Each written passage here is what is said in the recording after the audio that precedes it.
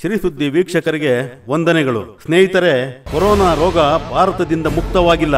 ಆದರೆ ಕೊರೋನಾ ಷರತ್ತುಗಳಿಂದ ಶೇಕಡ ತೊಂಬತ್ತೊಂಬತ್ತು ಭಾಗ ಮುಕ್ತವಾಗಿದೆ. ಸಭೆ ಸಮಾರಂಭಗಳು ನಡೆಯಬಹುದಾಗಿದೆ.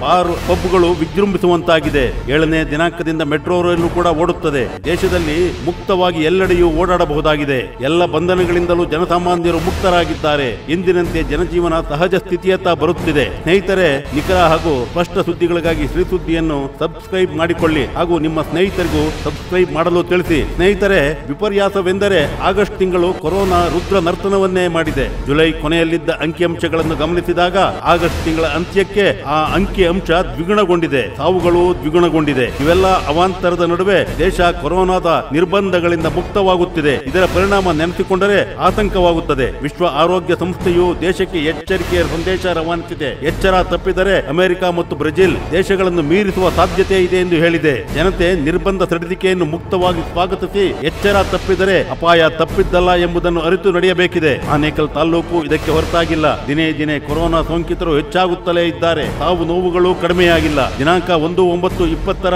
ಮಂಗಳವಾರಕ್ಕೆ ಸೋಂಕಿತರ ಸಂಖ್ಯೆ ನಾಲ್ಕು ಸಾವಿರದ ಇನ್ನೂರ ನಲವತ್ತಕ್ಕೆ ಏರಿಕೆಯಾಗಿದೆ. ಸರ್ಕಾರದ ಲೆಕ್ಕದಂತೆ ಸಾವಿಗೀಡಾದವರ ಸಂಖ್ಯೆ ಶತಕದ ಅಂಚಿನಲ್ಲಿ ಬಂದು ನಿಂತಿದೆ. ಯಾವ ಕ್ಷಣದಲ್ಲಿ ಆದರೂ ಈ ಅಂಚಿನಿಂದ ಮುಂದಕ್ಕೆ ಜಿಗಿಯುವ ಲಕ್ಷಣಗಳು ಹೆಚ್ಚಾಗಿಯೇ ಕಂಡುಬರುತ್ತಿದೆ. ಸ್ನೇಹಿತರೆ ಕೊರೋನಾದಿಂದಾಗಿ ಸಾವು ನೋವುಗಳು ಸಂಭವಿಸುತ್ತಿರುವ ಈ ವಿಷಮ ಪರಿಸ್ಥಿತಿಯಲ್ಲೂ ಸ್ವಾರ್ಥದಿಂದ ದುರ್ಲಾಭ ಮಾಡಿಕೊಳ್ಳುವ ಜನರೂ ಇದ್ದಾರೆ. ಎಲ್ಲ ಕಾಲದಲ್ಲೂ ಇವರಿಗೆ ಸ್ವಾರ್ಥವೇ ಮುಖ್ಯವಾಗಿರುತ್ತದೆ. ಇಂಥವರ ಬಗ್ಗೆ ಜನತೆ ಎಚ್ಚರದಿಂದ ಇರಬೇಕಷ್ಟೇ. ತಾಲೂಕು ಆಡಳಿತ ಇಂಥವರ ಬಗ್ಗೆ ಕಠಿಣವಾಗಿ ನಡೆಯಬೇಕಿದೆ. ಸ್ನೇಹಿತರೆ, ಇಂಥ ಸ್ವಾರ್ಥಿ ಜನಗಳ ಮಧ್ಯೆ ನಮ್ಮ ಊರಿನವರೇ ಆದ ಯುವಕರ ತಂಡ ಯಾವುದೇ ಸ್ವಾರ್ಥವಿಲ್ಲದೆ ದೃಷ್ಟಿಹೀನರಿಗೆ ಸಹಾಯಕವಾಗಬಲ್ಲಂತ ಸ್ಕ್ರೈಪ್ ಫೈಂಡರ್ ಎಂಬ ತಂತ್ರಾಂಶವೊಂದನ್ನು ಸೃಷ್ಟಿಸಿದ್ದಾರೆ. ಇದರ ಮುಖಾಂತರ ದೃಷ್ಟಿಹೀನರಿಗೆ ಸಹಾಯ ಮಾಡಲು ಒಲವುಳ್ಳವರ ವಿವರಗಳು ಈ ತಂತ್ರಾಂಶದ ಮುಖಾಂತರ ತಿಳಿಯುತ್ತದೆ.